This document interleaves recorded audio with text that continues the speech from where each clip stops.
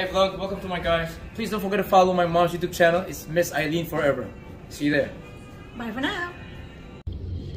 Hi guys! Um, andito ako ngayon. Susunod ko na ang aking kapatid na si Lisa. Um, magkikita kami ngayon.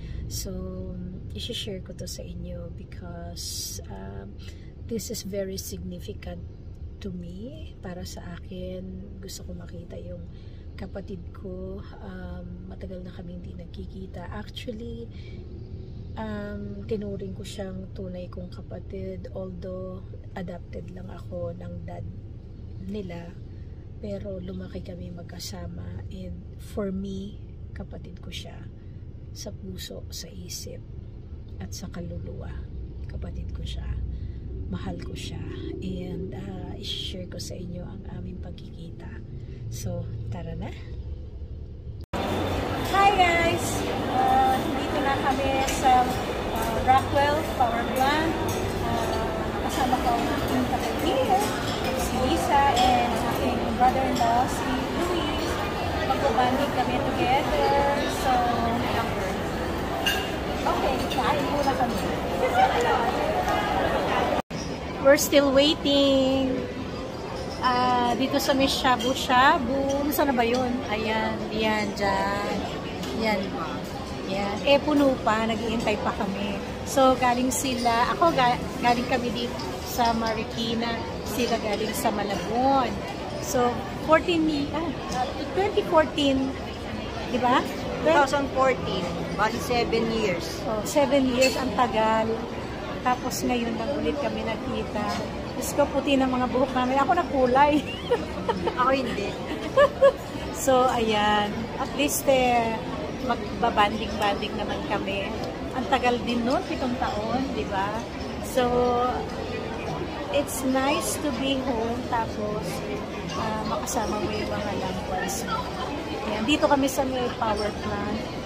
And, mas maganda dito, mas safe, at saka mas maganda.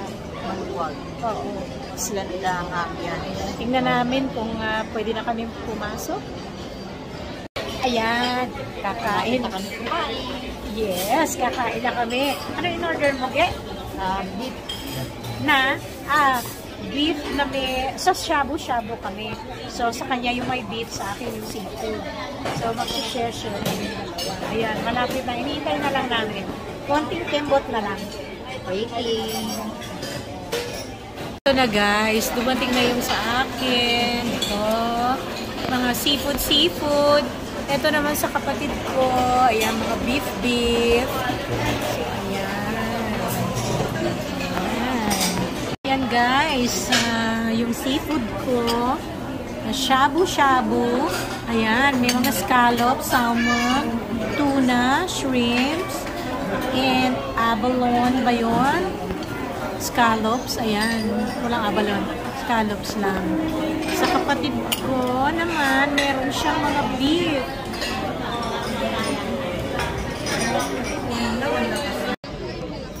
Yes! Andito kami sa UCC.